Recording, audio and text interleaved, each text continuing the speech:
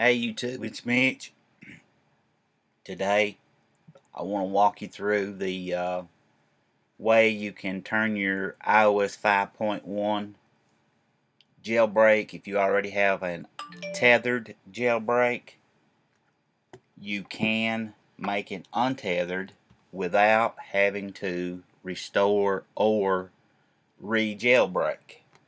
It's as simple as come over to iPhoneCaptain.com if you want to read the full article on it. All you need to do is go to Cydia and search Rocky Racoon 5.1.1 Untethered. Please note the spelling is different. Racoon is only spelled with one C and that was intentional. They tell you that below here if you want to read what the description says. It says Rocky Racoon is the underlying eh, under untethered exploit that will be installed by popular jailbreak tools such as redsn0w and Absinthe.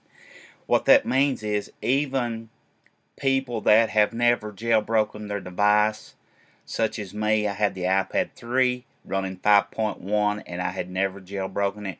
Well, Rocky Racoon was installed on it anyway. So it's part of the jailbreak process even if you haven't jailbroken your device or if it was tethered it doesn't really make any difference. All you need to do to make it untethered is simply just download Rocky Racoon install it reboot your device and you're untethered. It's that simple folks. There's nothing else to do. No hoops to jump through so check it out. Don't forget to keep coming back to iPhone Captain.